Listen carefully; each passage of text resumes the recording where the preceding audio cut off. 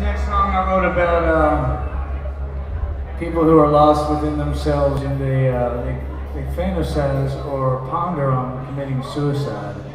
When you commit suicide, you think about, when you think about committing suicide, you think about, hmm, these people are going to come to my grave and they're going to like feel sorry for me and I'm going to get attention and maybe it's going to solve everything. Dude, you're dead.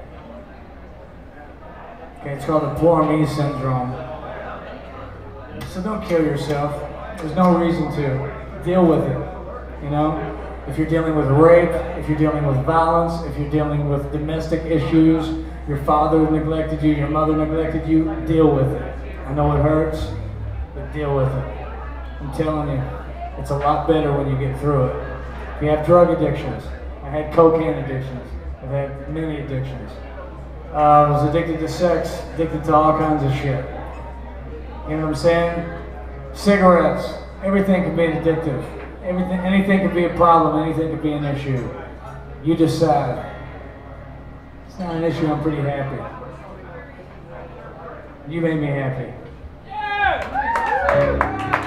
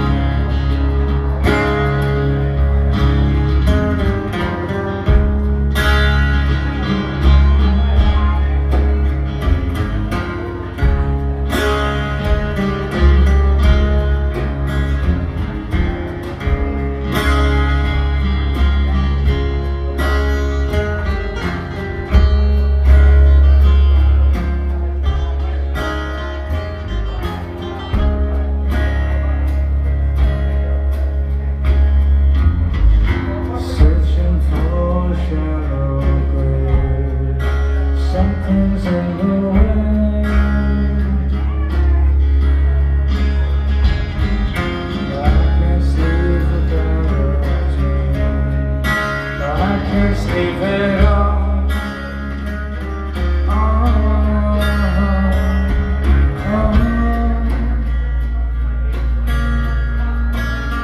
I can't sleep at